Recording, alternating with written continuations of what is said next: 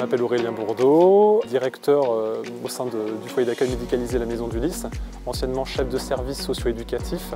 Alors cet établissement, c'est avant tout un, lieu de vie qui accompagne 28 personnes en situation de handicap, donc des profils principalement TSA, donc euh, troubles du spectre de l'autisme, plus globalement des profils TND, des troubles neurodéveloppementaux. Et c'est toute la particularité un peu de l'institution, c'est qu'il y a le caractère très hétérogène des profils qu'on accompagne au quotidien. Et c'est d'ailleurs toute la richesse aussi de cette institution.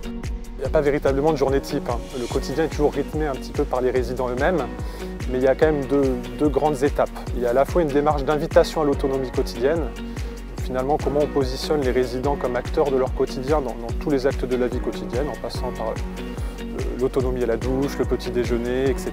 Et une invitation sur des supports socio-éducatifs et pédagogiques, à la fois donc la ferme pédagogique, le, le jardin thérapeutique, toutes les activités qu'on a appelées corps et santé, et toutes les activités art et expression. On se regarde tous On se regarde bien dans les yeux La vraie richesse de notre métier, c'est finalement notre capacité à partager la part d'humanité qu'on a de commun avec les autres.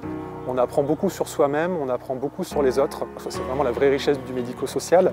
Nous, ce qu'on recherche, c'est des professionnels en capacité d'élaborer avec nous les réponses qu'on apporte aux résidents, on les construit de manière collégiale et pluridisciplinaire. Il n'y aurait pas effectivement comme ça des outils, des méthodes à appliquer de manière euh, uniformisée on essaye d'appréhender la singularité de, chaque individu qu'on accompagne euh, au sein de l'institution.